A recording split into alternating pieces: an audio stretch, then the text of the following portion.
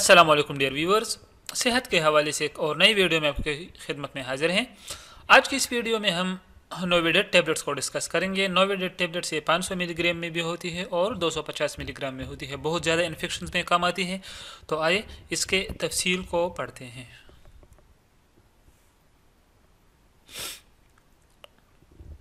अच्छा सबसे पहले इसकी कंपोजिशन को पढ़ते हैं। इसकी कंपोजिशन है सिप्रो फ्लॉक्सिसिन एच ये इसकी कंपोजिशन है और ये 250 मिलीग्राम में भी होती है और 500 मिलीग्राम में भी होती है। सिप्रोफ्लॉक्सिसिन एच अब इसकी बेनिफिट्स को पढ़ते हैं। ये टैबलेट्स कांसी और नमूनिया के लिए मौसर है, क्योंकि ये एंटीबायोटिक है सो कांसी और नमूनिया दोनों के लिए ये मुफीद है, अब इस्तेमाल कर सकते हैं। साइनोसाइटिस यानी साइनस में इन्फेक्शन के लिए ये मुफीद है।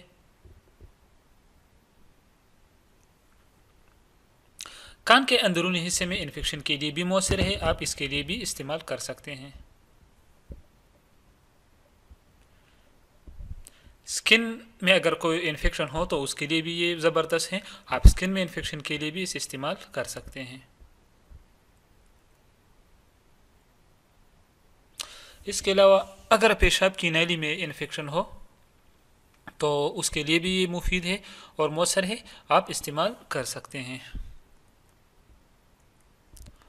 ओके जेनेटल इन्फेक्शन यानी पोशीदा जो अज्जा होते हैं, अगर उसमें इन्फेक्शन हो तो उसके लिए भी नोविड टेबलेट्स बेहतरीन हैं।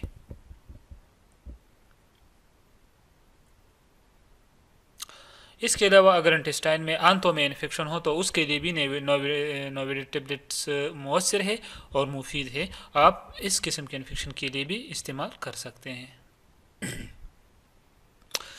अच्छा चूँकि नोविड टेबलेट्स ये एंटीबायोटिक है, बैक्टीरिया को ख़त्म करने में काम करता है तो ये टाइफाइड में भी मुफीद है और हेज़े में भी आप इस्तेमाल कर सकते हैं, जिसे इंग्लिश में कालरा कहते हैं। अच्छा ये तो हमने पढ़ दी नोविड टेबलेट्स के बेनिफिट्स अब इसके साइड इफ़ेक्ट्स को पढ़ते हैं कि इसके मुमकिन साइड इफ़ेक्ट्स यानी मौजर असरात क्या हो सकते हैं। मतली आना तो इसे मतली आ सकती है। उल्टी होना, सर दर्द सर चकराना, आँखों के सामने धुंधला पंचा जाना, हाथ पाँव में कमज़ोरी और जोड़ों में सोजिश महसूस होना। तो डियर व्यूअर्स अगर इन साइड इफ़ेक्ट्स में कोई भी आपको फील हुआ नोवेड टेबलेट्स के इस्तेमाल के दौरान तो आप फिर नोवेड टेबलेट्स का इस्तेमाल बंद कर दें और डॉक्टर से मशवरा करें, तभी आप जारी रखें जिस तरह आपको अपनी डॉक्टर मशवरा दे।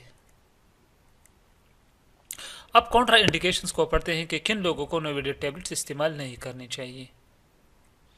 हामिला खातन इस्तेमाल ना करें, जो प्रेगनेंट खातन बहनें हैं, वो इस्तेमाल ना करें। दूध पिलाती जो माएँ हैं, उनको भी एडवाइस किया जाता है कि वो भी इस्तेमाल ना करें।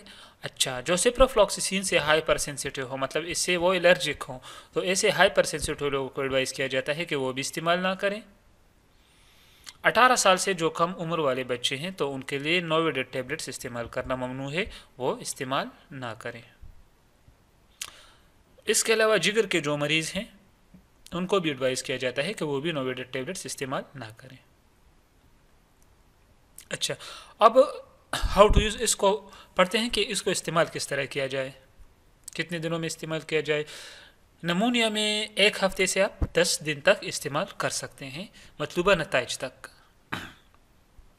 अगर जोड़ों में इन्फेक्शन के लिए आप इस्तेमाल करना चाहते हैं तो आप एक हफ़्ते से दस दिन तक इस्तेमाल कर सकते हैं। इन आपको नतज मिल जाएँगी।